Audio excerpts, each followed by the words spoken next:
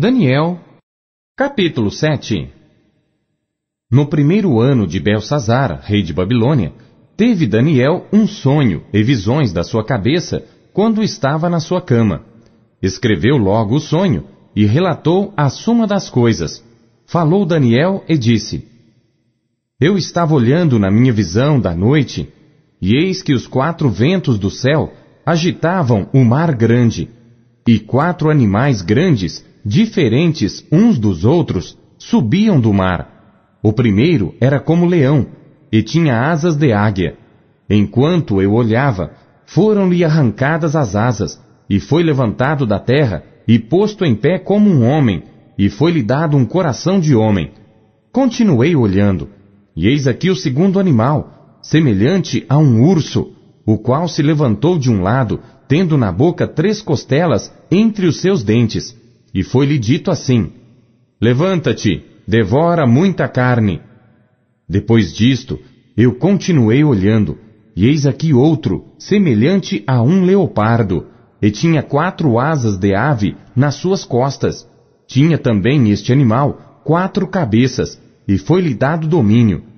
Depois disto, eu continuei olhando nas visões da noite, e eis aqui o quarto animal, terrível e espantoso, e muito forte, o qual tinha dentes grandes de ferro. Ele devorava e fazia em pedaços, e pisava aos pés o que sobejava. Era diferente de todos os animais que apareceram antes dele, e tinha dez chifres. Estando eu a considerar os chifres, eis que entre eles subiu outro chifre pequeno, diante do qual três dos primeiros chifres foram arrancados. E eis que neste chifre havia olhos como os de homem, e uma boca que falava grandes coisas. Eu continuei olhando, até que foram postos uns tronos, e um ancião de dia se assentou.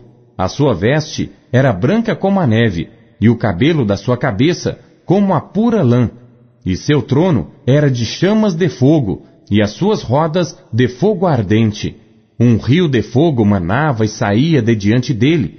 Milhares de milhares o serviam, e milhões de milhões assistiam diante dele. Assentou-se o juízo e abriram-se os livros. Então estive olhando por causa da voz das grandes palavras que o chifre proferia. Estive olhando até que o animal foi morto e o seu corpo desfeito e entregue para ser queimado pelo fogo. E quanto aos outros animais, foi-lhes tirado o domínio, Todavia, foi-lhes prolongada a vida até certo espaço de tempo.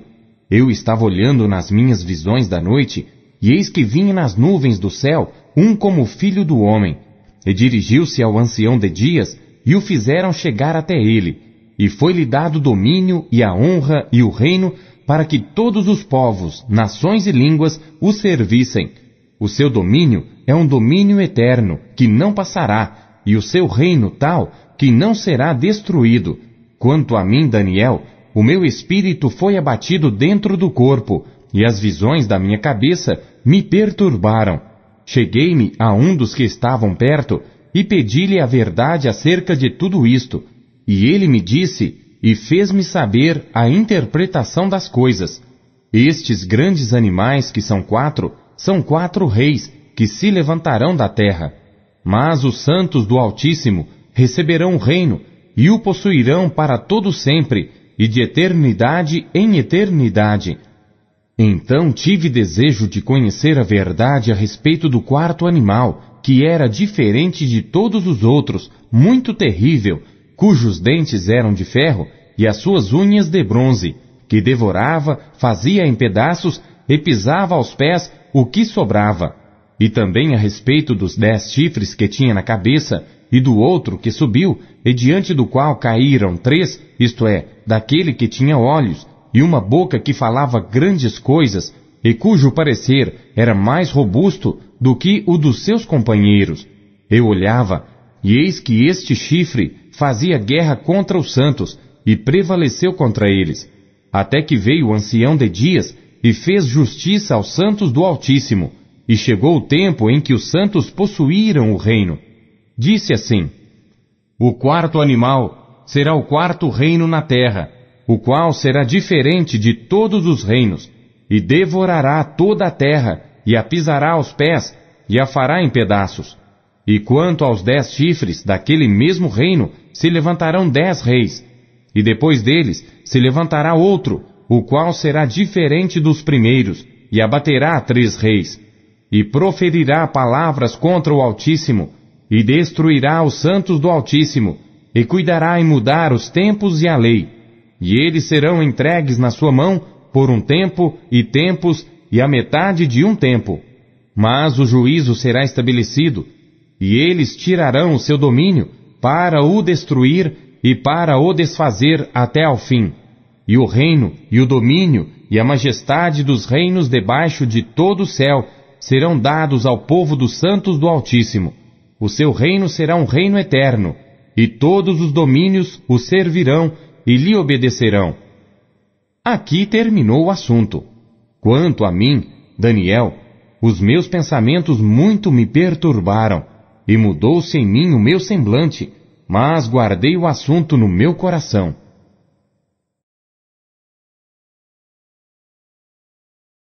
Daniel, capítulo 8 No ano terceiro do reinado do rei Belsazar, apareceu-me uma visão a mim, Daniel, depois daquela que me apareceu no princípio. E vi na visão. E sucedeu que, quando vi, eu estava na cidadela de Suzã, na província de Elão. Vi, pois, na visão, que eu estava junto ao rio Ulai, e levantei os meus olhos, e vi, e eis que um carneiro estava diante do rio, o qual tinha dois chifres, e os dois chifres eram altos, mas um era mais alto do que o outro, e o mais alto subiu por último. Vi que o carneiro dava marradas para o ocidente, para o norte e para o sul, e nenhum dos animais lhe podia resistir.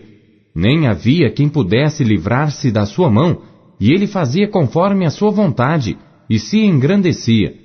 E estando eu considerando, eis que um bode vinha do ocidente sobre toda a terra, mas sem tocar no chão. E aquele bode tinha um chifre insigne entre os olhos, e dirigiu-se ao carneiro que tinha os dois chifres, ao qual eu tinha visto em pé diante do rio, e correu contra ele no ímpeto da sua força, e viu-o chegar perto do carneiro, enfurecido contra ele, e ferindo-o, quebrou-lhe os dois chifres, pois não havia força no carneiro para lhe resistir, e o bode o lançou por terra e o pisou aos pés.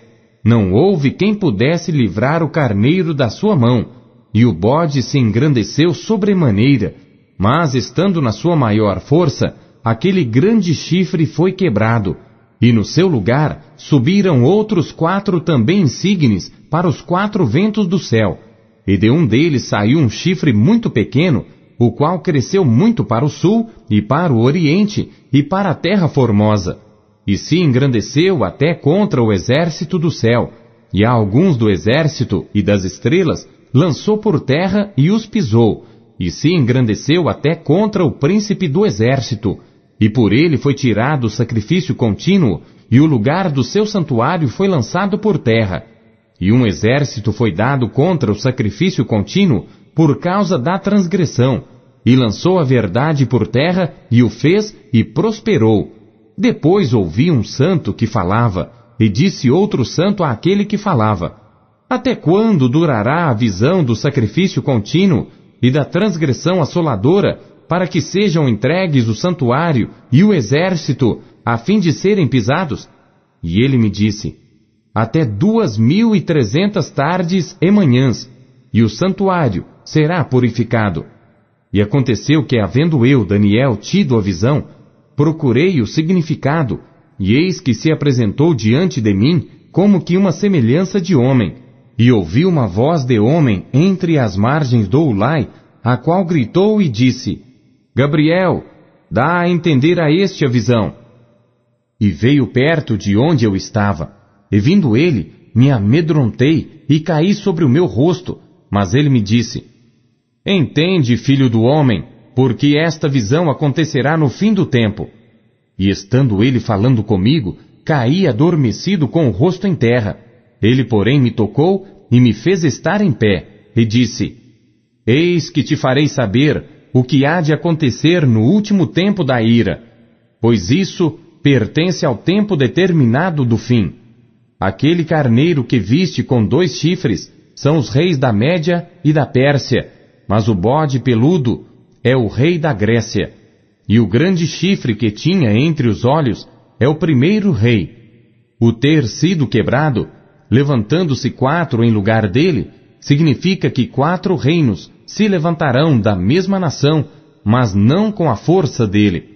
Mas no fim do seu reinado, quando acabarem os prevaricadores, se levantará um rei, feroz de semblante, e será entendido em adivinhações, e se fortalecerá o seu poder, mas não pela sua própria força, e destruirá maravilhosamente, e prosperará, e fará o que lhe aprouver, e destruirá os poderosos e o povo santo, e pelo seu entendimento também fará prosperar o engano na sua mão, e no seu coração se engrandecerá, e destruirá a muitos que vivem em segurança, e se levantará contra o príncipe dos príncipes, mas sem mão será quebrado. E a visão da tarde e da manhã que foi falada é verdadeira. Tu, porém, cerra a visão, porque se refere a dias muito distantes. E eu, Daniel, enfraqueci e estive enfermo alguns dias. Então levantei-me e tratei do negócio do rei. E espantei-me acerca da visão, e não havia quem a entendesse.